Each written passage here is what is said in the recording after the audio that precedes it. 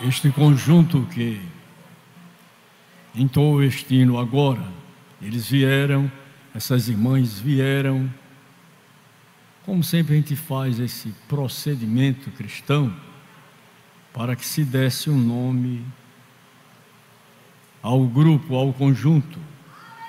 E eu achei por bem colocar este nome, Renovo Pentecostal.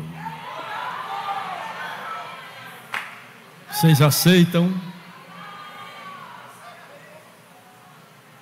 Eu quero pedir que toda a igreja diga: Quão grande é o meu Deus!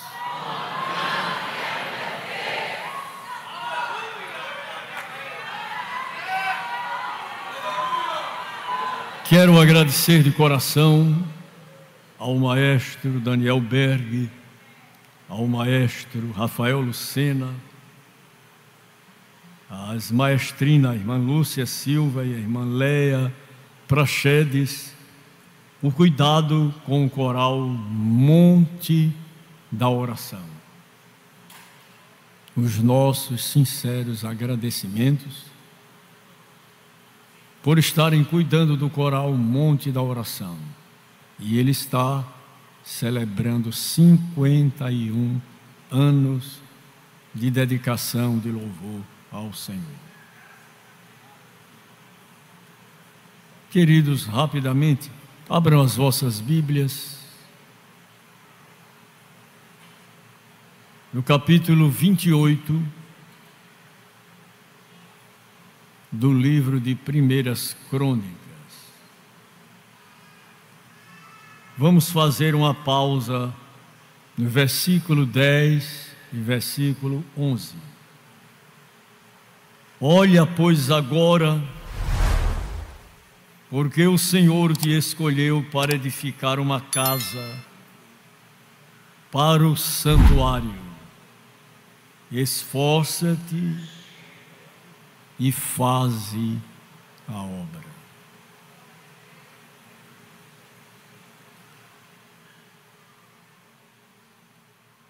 E deu Davi a Salomão, seu filho, o risco do alpendre, com as suas casarias e as suas tesourarias e os seus cenáculos e as suas recâmaras de dentro, como também da casa do propiciatório. Nós vemos que Deus ele é organizado. E ele faz tudo de conformidade com aquilo que está estabelecido. A quem ele chama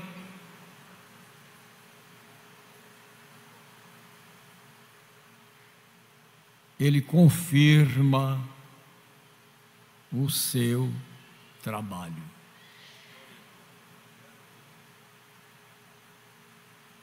Precisamos entender que Deus ele é absoluto e perfeito em todas as suas obras. Salmo 135, verso 6 diz que tudo o que ele quis, ele o fez. Tudo o que ele o quis, ele o fez. Nos céus, na terra, nos mares e em todos os abismos. Eu costumo dizer que a quem Deus chama, Ele envia. E a quem Ele envia, Ele cuida. E a quem Ele cuida, Ele exige. Olha, pois, agora, porque o Senhor te escolheu.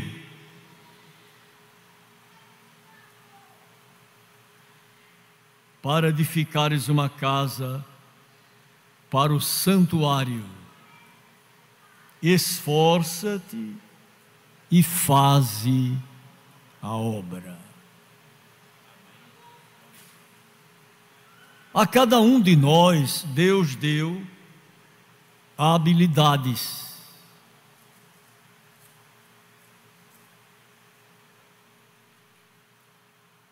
Eu tive a oportunidade, ultimamente, de participar de um almoço em um restaurante que ele havia quase fechado. E quando os irmãos me chamaram para voltar ali, eu digo: não, não vou. Mas os irmãos me disseram: vamos. Há uma nova administração. Então eu vou. E nos dirigimos ali, e logo que comecei a participar da alimentação, apareceu responsável por aquela empresa. E me apresentaram a ele. E ele ficou muito feliz por estar ali com outros companheiros. Eu disse para ele: o segredo disso aqui funcionar bem depende de quem está lá dentro na cozinha. Se o senhor mudar quem está lá na cozinha, então isso aqui vai sofrer o mesmo detrimento que sofreu há meses atrás. Quem quer pão quente tem que se acordar cedo da madrugada não pode dormir até nove horas da manhã. E alguém que vem para participar, para comprar, ele sabe que tem mercadoria de primeira qualidade. Na grande obra que Deus conferiu a nós, cada um tem a sua habilidade. Cada um sabe o que deve fazer. E a quem Deus chama, Ele dá a devida capacidade. Todos nós sabemos o que havemos de passar. Todos nós sabemos o que havemos de sofrer. Todos nós sabemos do apedrejamento, da crítica, da pancadaria que nós vamos sofrer. Quem é chamado para a obra, ele sabe o que vai passar. Os irmãos acreditam assim? Ninguém pense que é fácil, não. E foi dito aqui a Salomão que ele fizesse a obra, edificasse uma casa. O escritor da carta aos Hebreus, ele diz que toda casa é edificada por alguém. Toda a casa é edificada por alguém. Uns com mais habilidade e outros com menos habilidade. E se descobre esse homem não tem muita habilidade.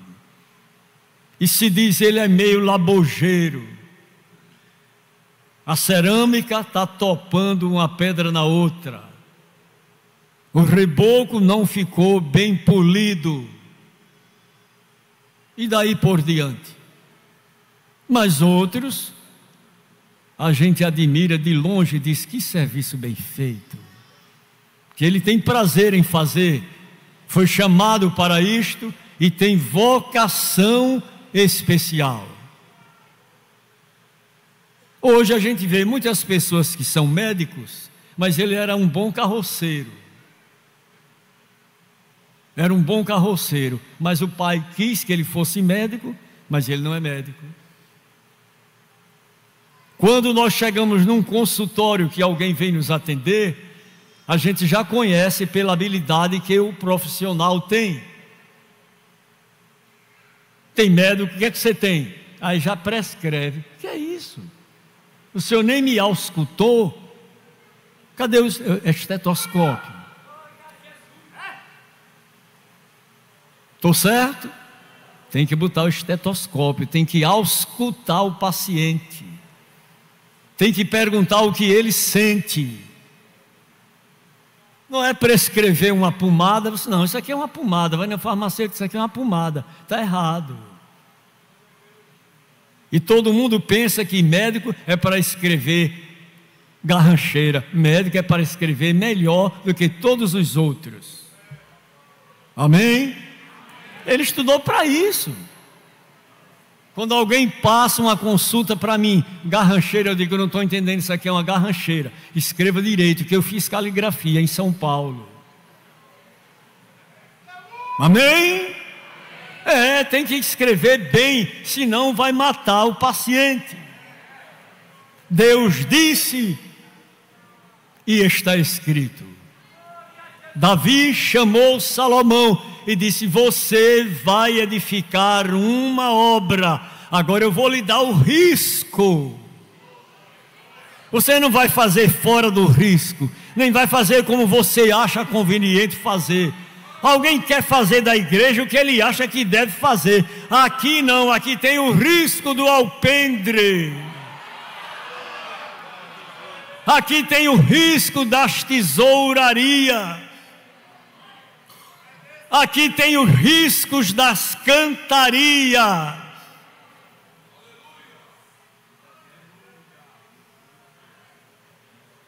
Eu lembro-me que promovi um seminário para líderes e alguém disse: Olha, esse negócio de três hinos da harpa, depois leitura da palavra, isso está superado. Quando ele terminou, peguei o microfone, diga aqui em João Pessoa, continua do mesmo jeito. Quem fizer diferente e eu souber, sai fora da escala. Vamos botar quem quer trabalhar, cumprindo o que está escrito. Senão daqui a pouco a igreja vai se tornar uma árvore de Natal, cheia de balagandãe. A árvore de Natal não é igreja, a igreja é coluna e firmeza da verdade. Crente tem que andar de acordo com a palavra de Deus.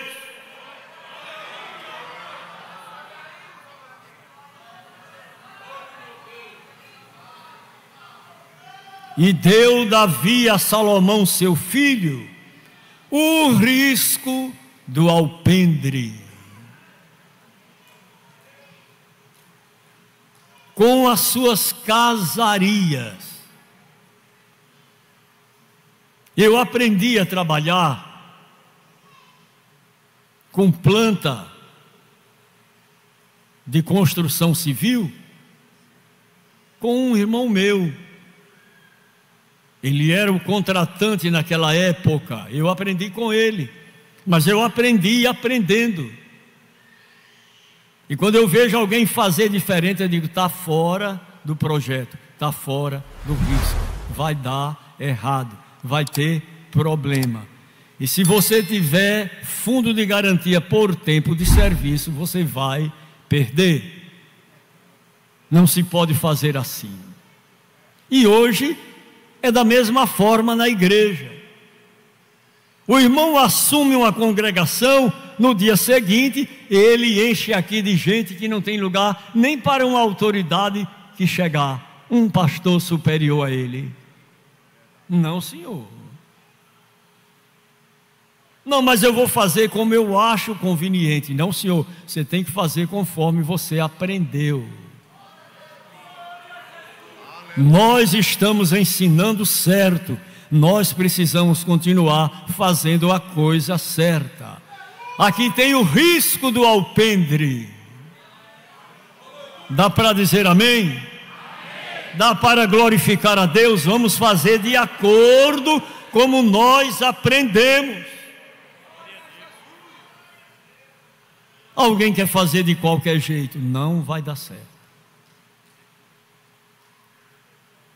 as notícias da sua deformidade no trabalho vai chegar a quem de direito. E se vai dizer, não ensinei fazer assim. Não, mas agora a gente faz aí um um samba na igreja. Não, senhor. Não vai dar certo. Vamos fazer conforme nós aprendemos. Tem pastores que não estão mais ministrando com a Bíblia, é agora com o celular. Nós precisamos ministrar com a Bíblia. O que resolve na vida da gente é a palavra aplicada. Ela é viva, ela é eficaz, ela é. Não, mas no celular. Celular é uma coisa, a Bíblia é outra. Não venha com conversa para mim. Tem crente que não usa mais nem o caderno de hino, aí se perde, emenda com línguas estranhas e o povo sabe que ele está enrolando. Cadê o caderno, rapaz? Aleluia! Fala em língua agora. Canta em espiritual, debrado de vitória.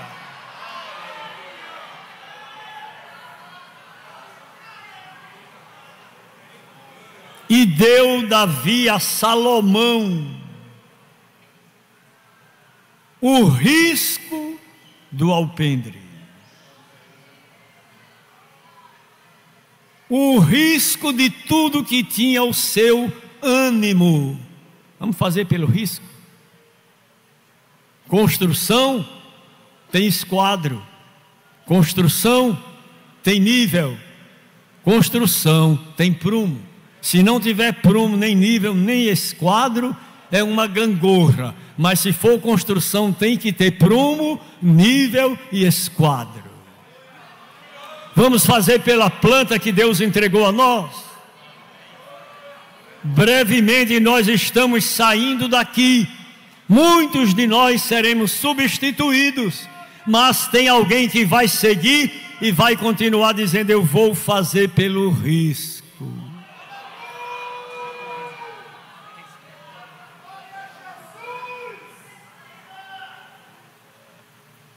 E a obra do ministério tem que ser feita pelo risco.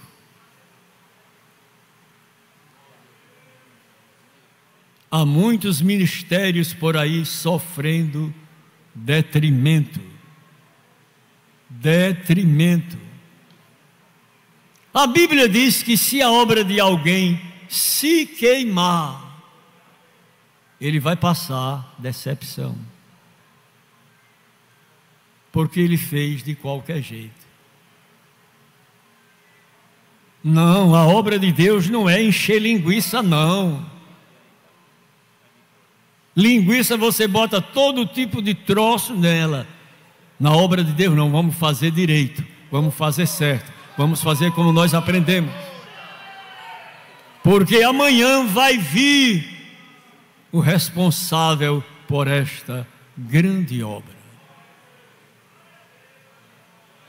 Observem o que disse o grande bandeirante do Evangelho. Ele disse: Eu plantei, Apolo regou, mas Deus deu o crescimento. Nem o que planta é alguma coisa e nem o que rega é alguma coisa, mas Deus que dá o crescimento. Ele manda chuva, seródia e temporã, e a obra cresce.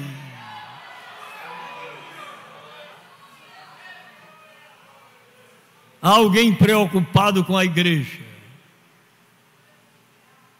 Mas a igreja vai continuar crescendo. Vai continuar crescendo. Vai continuar crescendo. Vamos fazer as coisas conforme recebemos ordem.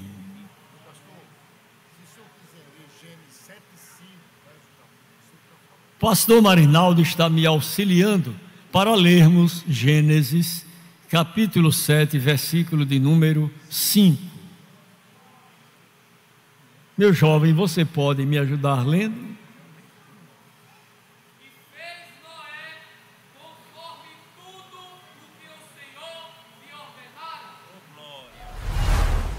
Deus disse a Noé: a arca tem que ser feita de madeira de golfe. Não bote ginipapo, não bote cipopau, não bote embaúba, não bote cupiúba, você bote madeira de golfe.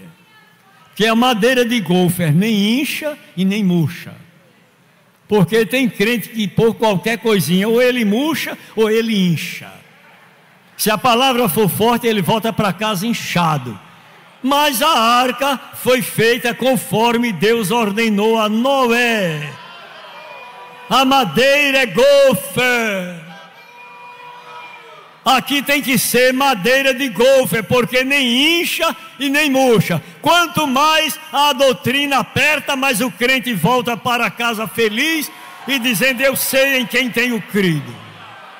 Eu não sou embaúba, eu não sou cupiúba, eu não sou pau d'arco.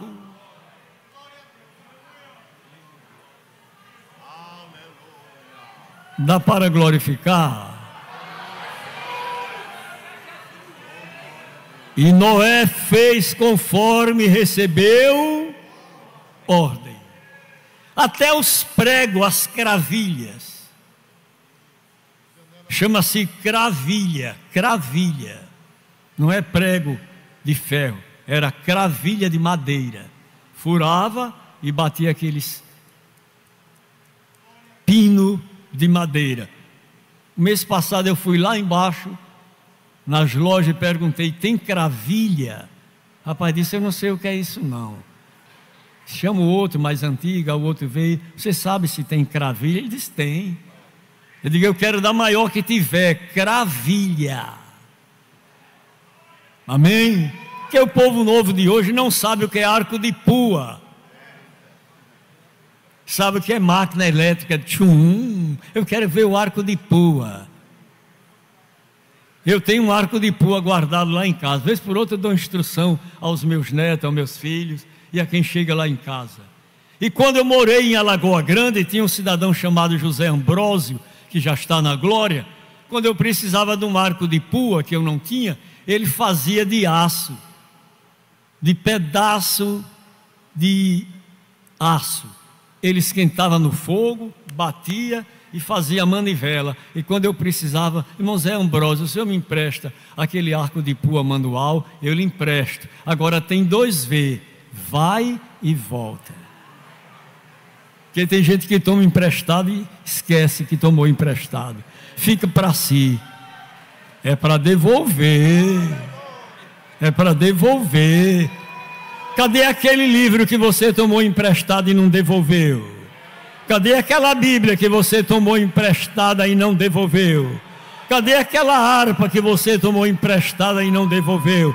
Cadê aquele sapato que você tomou emprestado e não devolveu? Cadê aquele vestido que você tomou emprestado e não devolveu? Aleluia! É para falar essas coisas. Porque tem gente que esquece. E aquele dinheiro que você tomou emprestado e não devolveu ainda. Olha, já faz mais de ano e a pessoa está esperando. Ele tem sentimento de falar com você, porque sabe que você é dura, você é duro. Eu não vou nem falar, eu prefiro perder. Mas hoje Deus está lembrando.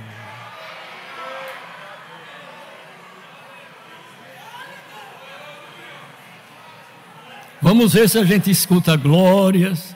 Aleluia. Amém. Línguas, brados de vitória.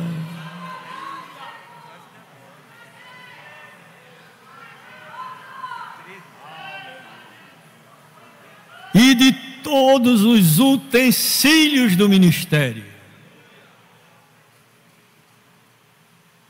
Há poucos dias eu estava conversando com o irmão Edson Brito. Cadê ele? E nós falamos sobre a responsabilidade dada a Moisés. Tudo que era necessário, Moisés tinha conhecimento.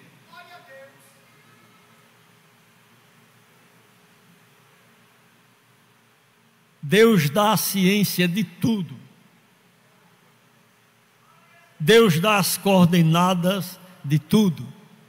O senhor lembra aquele versículo que a gente leu?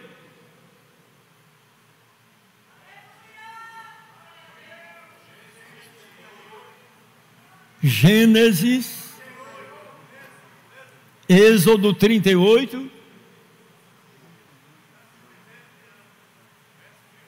Ô oh, meu jovem, você lê Êxodo 38, versículos 1 e 2 e 3.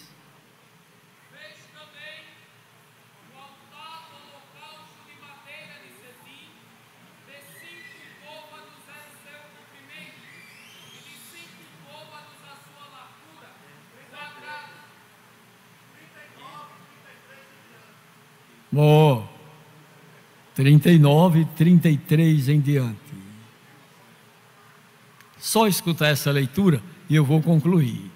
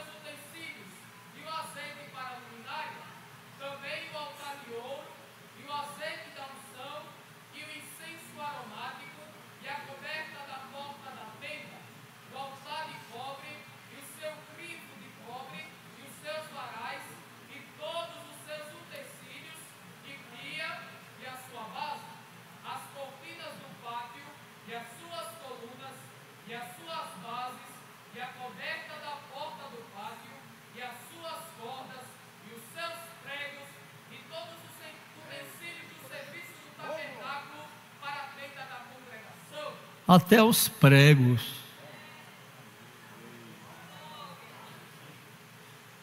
Eu vou fazer do jeito que eu quero, faça. E depois o dono da obra vai lhe chamar para um acerto de contas. Vamos fazer conforme está escrito. Deus abençoe a sua igreja. Deus abençoe a sua igreja. Amém. Você quer ser abençoado? Diga amém. Vamos continuar fazendo conforme recebemos ordem. Fiquemos em pé.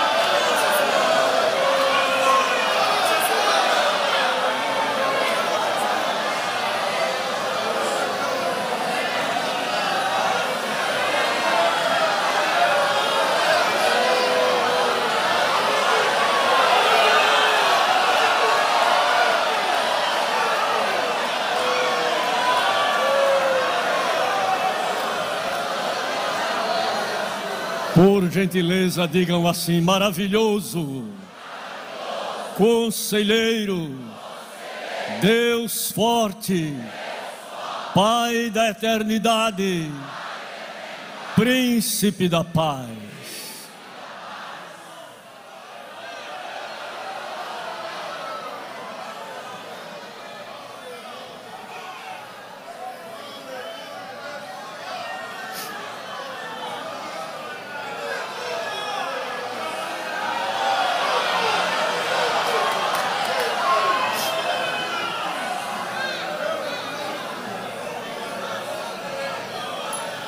E é esta confiança que temos nele. Que se pedirmos alguma coisa segundo a sua vontade, ele nos ouve. E se sabemos que nos ouve em tudo o que pedimos, sabemos que alcançamos as petições que lhe fizemos. Esta é a confiança que temos nele. Esta é a confiança que temos nele. E eu posso lhe dizer: nele você pode confiar. Nele você pode confiar. Nele você pode confiar.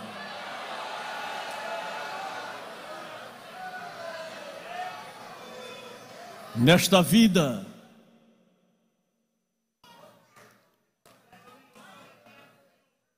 nos dias que estamos vivendo,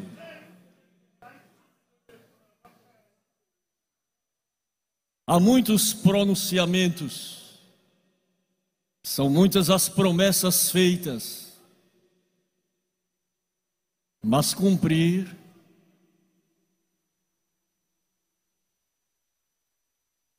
mas nele nós podemos confiar. Porque quando ele nos diz que vai fazer, ele faz. Quando ele diz que vai operar, ele opera. Quando ele diz que vai tornar sem efeito a ação do mal, ele torna. Quando ele diz que ele vai libertar, ele liberta. Quando ele diz que vai transformar, ele transforma. Quando ele diz que ele vai abençoar, ele abençoa. Quando ele diz que vai quebrar o arco, ele vai quebrar o arco da impiedade. E esta é a confiança que temos nele. Que se lhe pedirmos alguma coisa segundo a sua vontade, ele nos ouve. Submeta o seu pedido a vontade de Deus.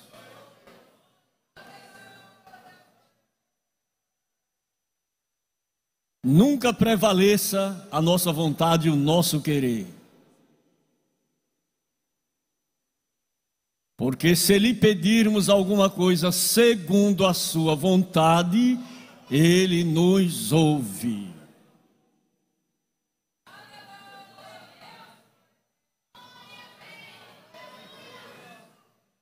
E esta é a confiança que temos nele.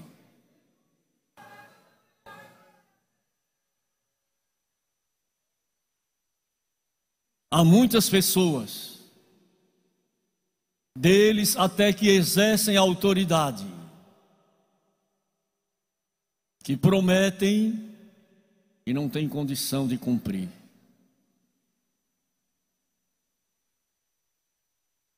Mas nele, Jesus, nós podemos confiar.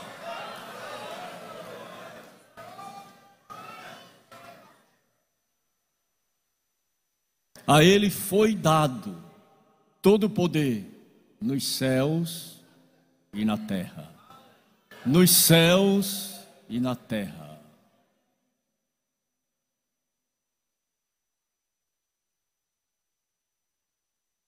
Pela manhã tivemos a oportunidade de ouvir uma palavra da parte de Deus. E eu gostaria de repetir o mesmo texto da manhã.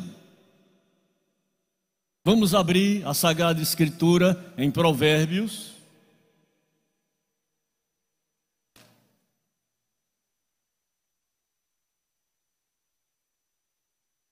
Quatorze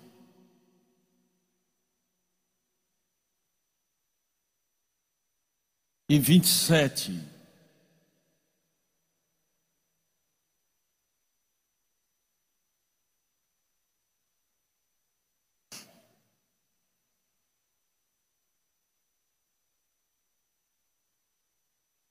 Eu troquei de Bíblia, não me lembro se foi Provérbios, pela manhã 14, 24 e 27. 24 e 27, obrigado, obrigado.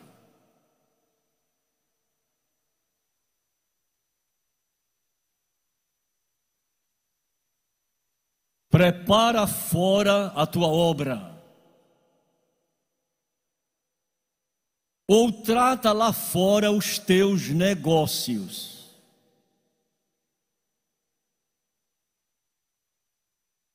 E apronta a tua obra no campo. E então edifica a tua casa. Falamos pela manhã que nada desta vida deve roubar a nossa comunhão, a nossa intimidade, o nosso momento sagrado com Deus.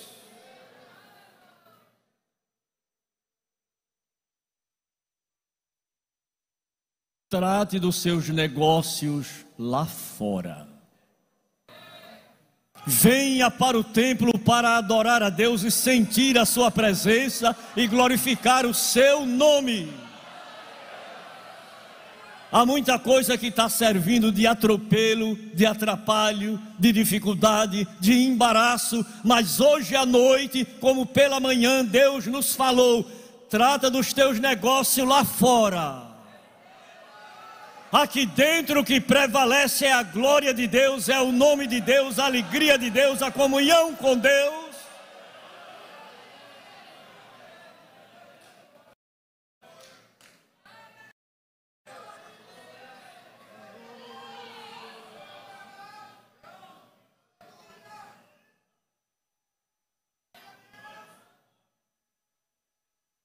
Trata dos teus negócios lá fora.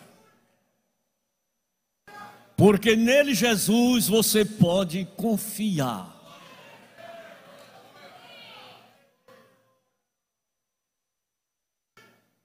Em Salmos 37, verso 5 está escrito: entrega o teu caminho ao Senhor e confia nele e ele não vai fazer uma parte, ele não vai fazer um pouquinho. A Bíblia diz que ele tudo, tudo, tudo, tudo, tudo ele fará. Ele vai fazer sobressair a tua luz.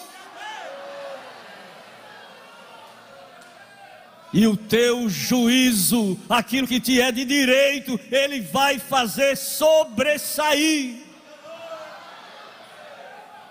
Porque Deus não é homem para que minta, nem filho do homem para que se arrependa, e Ele nos assegura, operando eu, quem impedirá? Quem pode anular, quem pode interromper, quem pode atrapalhar, quem pode tornar sem efeito o que Deus já determinou, porque o que Ele determinou será feito.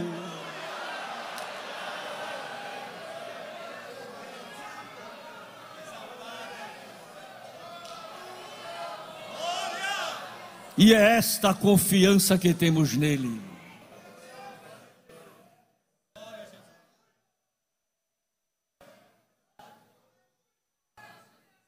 Agora apronte os seus negócios lá fora.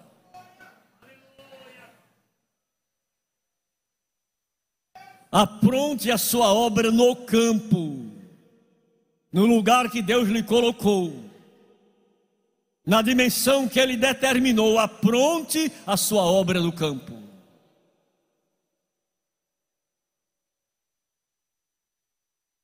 E edifique a sua casa. O vendaval soprou, os rios transbordaram, mas Deus não permitiu a sua casa ruir. E você sabe muito bem disso, da maneira que Ele tem guardado a sua vida. Assim como a galinha esconde os seus pintinhos das aves de rapina, o Senhor tem preservado a tua vida.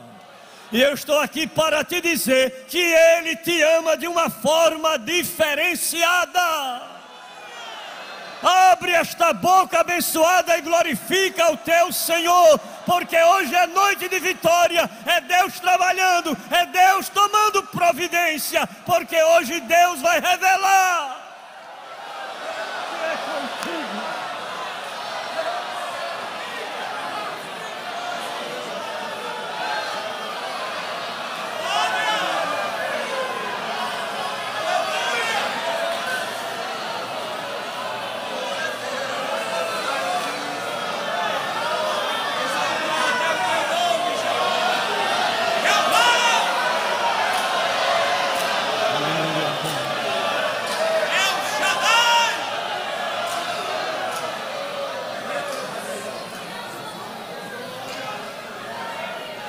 Alguém até pensou em celebrar o seu funeral, mas Deus não permitiu. Ele deu a volta por cima com você para mostrar a alguém que Ele é Deus em cima nos céus e embaixo na terra. Nele você pode confiar.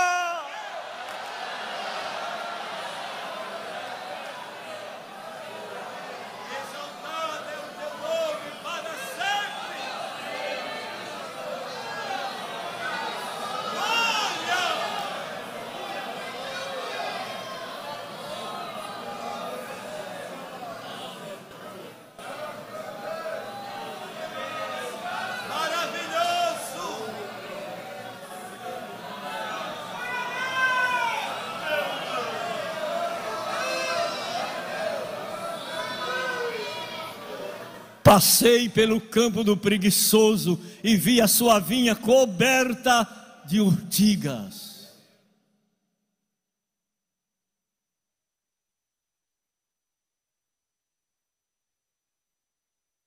Não tem coragem de preparar a sua obra no campo.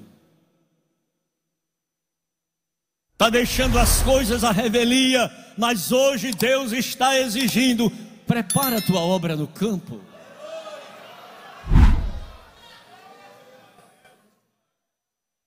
Reúne todas as tuas forças. Porque alguém de uma maneira forte está pelejando contra você, mas não vai prevalecer contra você. Reúna todas as suas forças e avance. Você não foi chamado para recuar, para desistir, mas para avançar, porque Deus é poderoso e vela sobre esta palavra para cumprir na tua vida. Nele você pode confiar.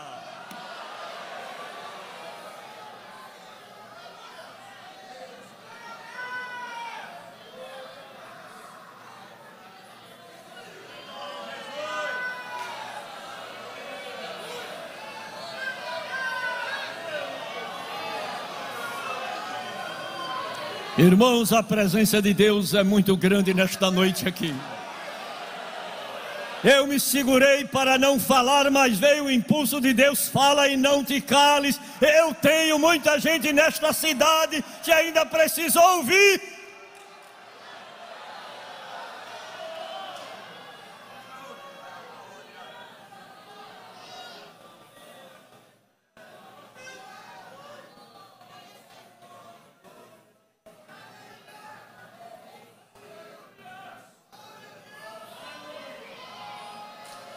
foi perguntado à rainha Esté: qual é a tua petição? Até a metade do reino te se dará. Todo não, mas a metade é possível. Deus vai pegar esse pouquinho e vai multiplicar porque a partir de hoje algo novo, especial, vai se realizar e todos vão ver e dizer e glorificar e exaltar: foi o Senhor que fez isto.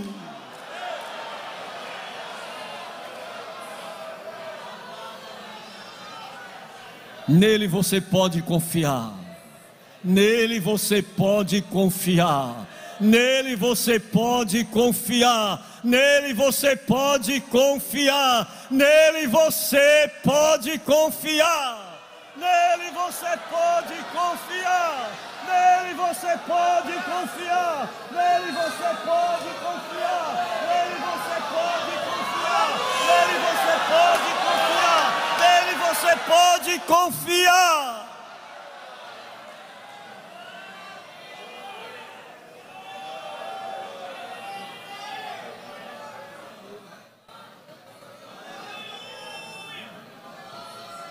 Põe no Senhor a tua confiança.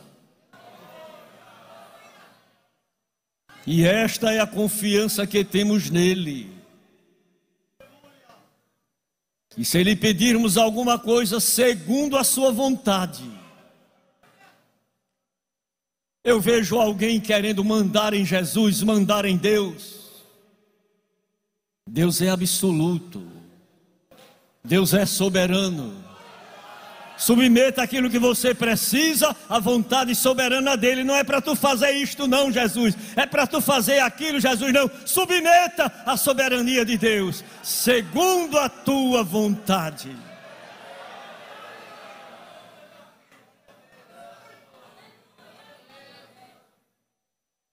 Eu estava lendo a Bíblia e encontrei uma palavra muito interessante. E quando alguém me pergunta, o senhor vai fazer isso? Querendo Deus. O senhor vai para tal cidade? Querendo Deus.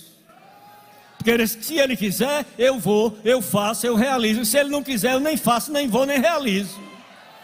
Dá para você confiar inteiramente em Deus? descansa nele, exalta ele, glorifica ele e põe nele a tua confiança.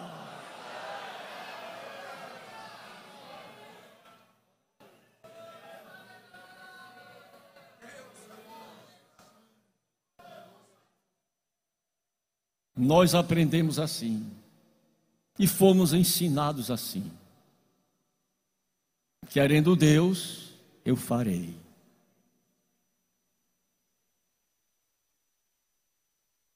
Se Ele quiser, ninguém vai impedir. Porque Ele dá a quem Ele quer dar. E a quem Ele não quer dar, Ele não dá.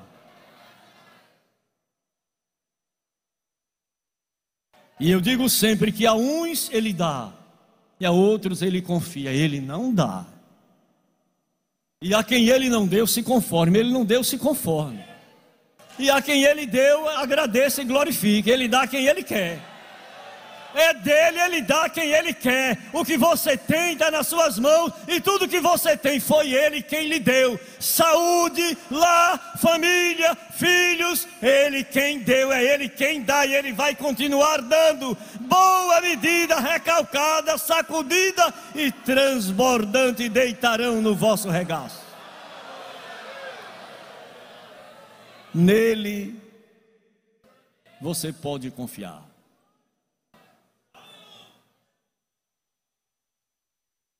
Resolva os seus negócios lá fora. Não deixe que eles sejam motivos para roubar a sua paz, a sua comunhão, os seus momentos a sós com Deus. Porque todos nós que trabalhamos no Evangelho, nós temos momento a sós com Deus. Para perguntar ao Senhor da obra, para ficar a sós, para tratar com o Senhor da obra. Não é somente com a obra do Senhor, com o Senhor da obra. Nós precisamos ficar a sós com Deus. E esses negócios deixa lá fora.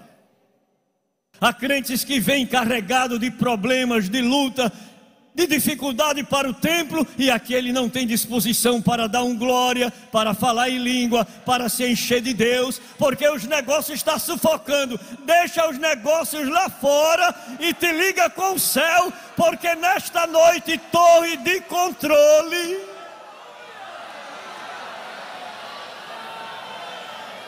Você sabe muito bem que é a nossa torre de controle, Espírito Santo.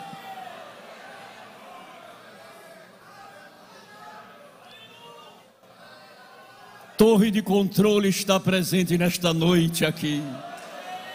Quando tudo parece escuro, sem nenhuma luz, torre de controle manda mensagem: sossega, descansa, te anima, deixa comigo. Eu vou entrar, eu vou agir, eu vou quebrar, vou desfazer, eu vou tirar, vou renovar, torre de controle está presente nesta noite. Deixa e resolve os teus negócios lá fora. Apronta a tua obra no campo. É para nós os obreiros. Apronta a obra no campo.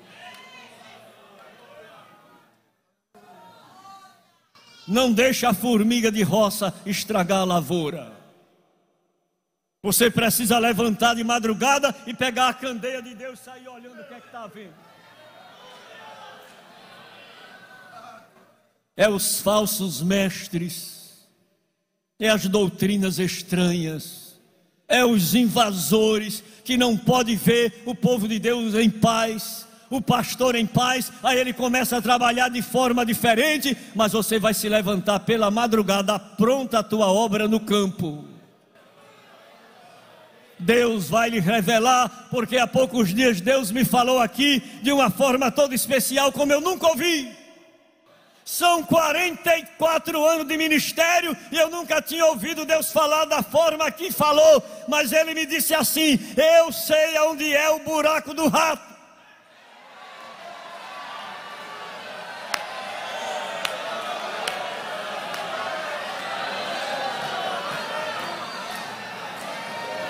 O que está oculto, Ele vai revelar. O que está escondido, Ele vai fazer aparecer. O que tiver embaraçado, Ele vai desembaraçar.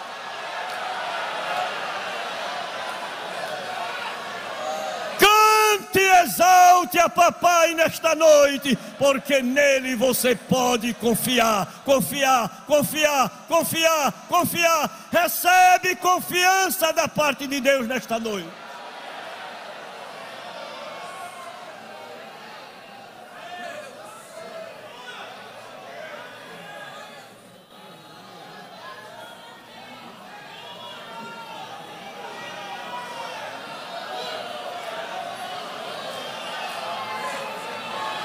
Só quem promove esse barulho na igreja é Espírito Santo. Por mais que alguém queira fazer, não consegue. Agora, Espírito Santo, ele sabe tocar nas campainhas. E a gente está ouvindo o ritmo das campainhas, certo que a obra de Deus, a arca está no seu lugar.